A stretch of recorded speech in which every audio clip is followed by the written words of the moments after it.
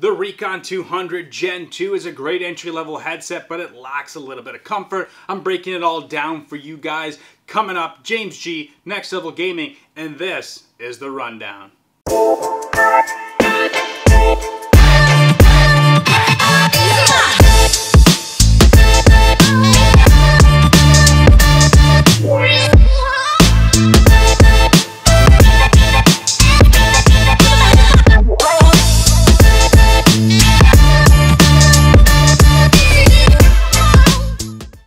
What's happening, everybody? James G, Next Level Gaming, and thank you for tuning in to another episode of The Rundown. Today, we're taking a look at the Recon 200 Gen 2 from Turtle Beach, and I like what they've done, and they're starting to release some of their flagship headsets in Gen 2 forms, like you've seen with the Stealth 600 and 700.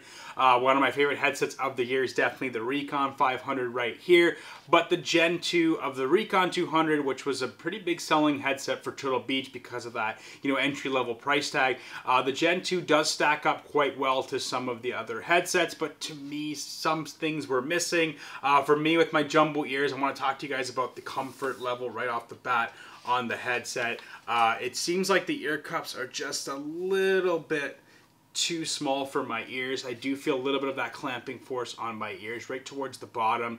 I'm um, still able to game with it. It's still, you know, somewhat comfortable, but if, obviously if you have bigger ears like me, you're going to run into that same uh, issue. It's extremely lightweight. You don't feel any of that clamping force here or any weight, you know, sitting on top of your head, whether you're with a hat or without a hat. But uh, I just want to, uh, you know, just showcase that uh, you might lose a little bit of comfort if you have bigger ears like me. But it still feels cool on my ears. Love what they've done with that uh, meshing, athletic meshing that uh, Turtle Beach has implemented on these uh, on this headset. So it's still comfortable, but keep that in mind when you're looking at picking up your next headset. Let's talk some features on the um, the headset itself. If you want to really amplify the features of this headset, guys. The Recon 200 controller. If you haven't seen my review, it's just in the description below. Uh, definitely pair this together with the Recon 200 Gen 2, and you'll definitely increase your audio, uh, you know, experience with this headset. Uh, it's got the 40 mil drivers on it. You've got all your features located on the left side of the uh, of the headset itself and you're going to see here that um, on the left side here you've got your flip down mute boom if it's up you're obviously muted if it's down you're ready to go all the uh, you know the dials are located here you've got your mic monitoring which is always on you got a bass boost always on uh, you've got the volume of your headset up here as well and then you're able to choose uh, between ps5 and xbox on here so if you plug it into one of the controllers you'll be able to uh, tweak that and I'm, uh, it's gonna you know uh, take into effect which console you're actually uh, playing on. So price tag very minimal, fifty nine ninety five. Like I said, U.S. dollars,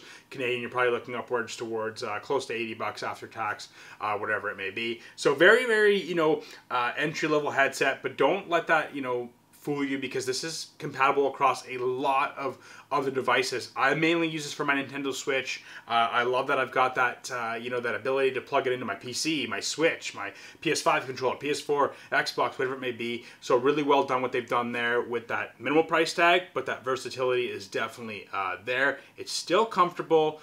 But keep that in mind, like I told you with that ear cup there. Uh, I like how the mic monitoring is, you know, always on. The bass boost is always on, so you're packing that punch from those 40 mil uh, drivers. The audio quality from Turtle Beach has never, uh, you know, to me has never deterred from like what they've they've done with some of their higher end headsets. It's always been amplified. You're always hearing those footsteps close by. You're always hearing those gunshots in the distance, whatever it may be. They've always packed a fantastic audio uh, punch, and it's compatible with some of the stuff you see on PS5 and Xbox with their you know audio enhancements and, and surround sound and all that. So it works well. Uh, price is good. Comfort's good versatile, so why would you not want to pick this up? Uh, it's durable. It's got that plastic, hard plastic, like a lot of uh, Turtle Beach headsets and a lot of headsets out in the market right now. It's got that metal banding here uh, that just keeps that reinforced on the ear cups and also on the bands. If you're playing around with it and you know twisting it like some people do, uh, you're not going to easily break it or the kids get into it, whatever it be, uh, may be. But you know, take care of your headset. Don't chuck it around. It's going to be fine.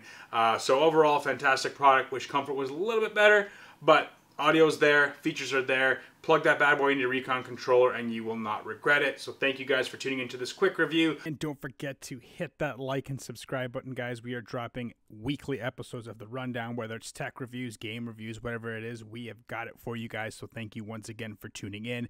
I was your host, James G. We took a look at Turtle Beach's Recon 200. It's the Gen 2 version, retailing for $59.95. So please don't miss out on this fantastic product. And we'll catch you guys in the next episode of the Rundown. Cheers.